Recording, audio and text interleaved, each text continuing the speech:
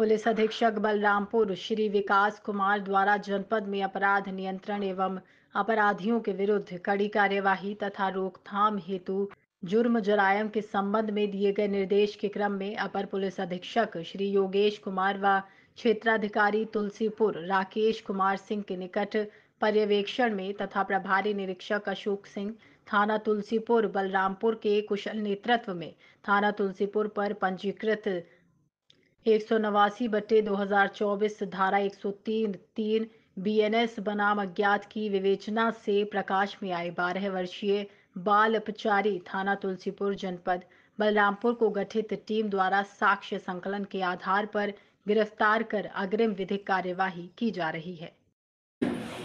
एक तारीख को थाना तुलसीपुर को जो है सूचना मिली थी कि मदरसे में एक बच्चे की जो है हत्या हो गई।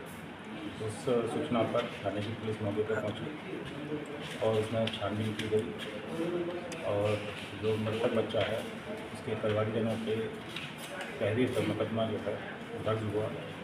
पुलिस के द्वारा छानबीन की गई। उस छानबीन में जो है, वहीं का एक बच्चा है।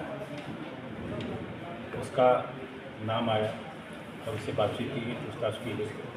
उसके द्वारा हत्या करने की बात कही और जो हत्या में जो चाकू था, वो भी बरामद हुआ है। और जो बच्चे के कपड़े हैं, वो सभी जो है उनका ब्लड स्टेट हैं, वो भी बरामद हैं। और इसमें अग्रिम विवेचनात्मक कार्रवाई की जा रही बाकी साक्ष्यों के आधार पर जो भी अग्रिम कार्रवाई है, वो की जाएगी।